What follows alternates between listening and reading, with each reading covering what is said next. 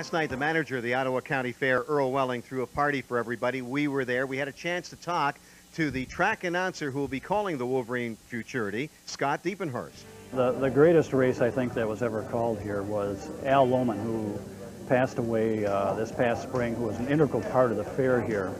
Had a great pacer uh, by the name of Cedar Ridge. And it was a Saturday afternoon, and um, he put up $25,000, uh, one race, one heat. And uh, it was a Saturday afternoon.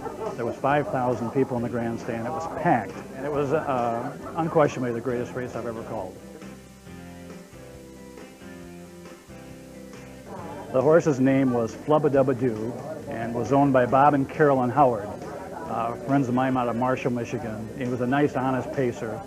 And um, and the round the far turn. It's Flubba Dubba Doo trying gamely on the outside, trying to fight him off on the inside is Nightstick. Nightstick has a head in front, but on the outside, here comes Flubba once again on the outside. It's Bud Foster with Flubba now has a nose as they battle through the stretch. On the inside, it's Nightstick. On the outside, Flubba. Throw a blanket over him, nose for nose, head for head, neck for neck. They're at the wire. It's Flubba and here they all come.